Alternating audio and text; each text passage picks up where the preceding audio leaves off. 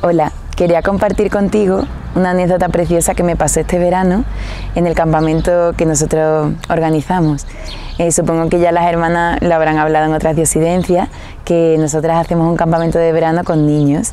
Y este año han sido dos tandas con distintos niños. Y en la segunda tanda pues mi equipo fue el ganador. Y me encantó porque en este campamento lo que te hacía ganar no era pues el mejor en deportes, ni siquiera ser el mejor en todo, sino que lo que verdaderamente se hacía cada día era un examen del amor, de cuánto hemos amado. Y nosotros en función de cuánto veíamos que los niños habían amado, pues dábamos más o menos puntos. Y nuestro equipo pues ganó. Y eso fue precioso y me ayudó mucho porque nuestro equipo realmente estaba formado por niños que no eran perfectos, ¿no? Que pues, tenían sus defectos, ¿no? Y, a mí me pareció precioso ver cómo, a pesar de, nuestros defectos y de que pues teníamos nuestras limitaciones, nos sobreponíamos por el equipo, todos incluso nosotros, ¿no?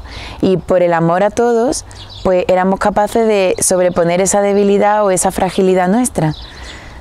Me encantó eso, ¿no? Porque muchas veces en las competiciones y eso pues ganan como los más perfeccionistas, ¿no? Y de hecho yo veía que en este campamento no ayudaba nada a ser el típico que lo quiere hacer todo perfecto, porque al final eso no es un verdadero amor.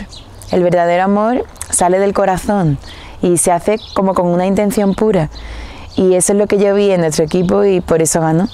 Y pues hoy quería reflexionar contigo sobre esto, invitarte a buscar ese amor en el día a día, que no sea para verte perfecto, para verte a ti mismo muy bueno, porque eso se ve que es muy falso y no llena ni ayuda, ¿no? sino que lo que verdaderamente es bonito es amar de verdad, amar con el corazón. Y muchas veces sí tenemos defectos que tenemos que mejorar, pero que sea por amor, que sea por amor a Dios y por amor a las personas que te rodean y que están contigo. Y como mi equipo, ¿no? que, que por el amor que tenemos entre nosotros, pues si había un niño muy inquieto pues era capaz de estar menos inquieto por el equipo. O si una niña se ponía malita, pues todo el equipo iba y le ayudaba.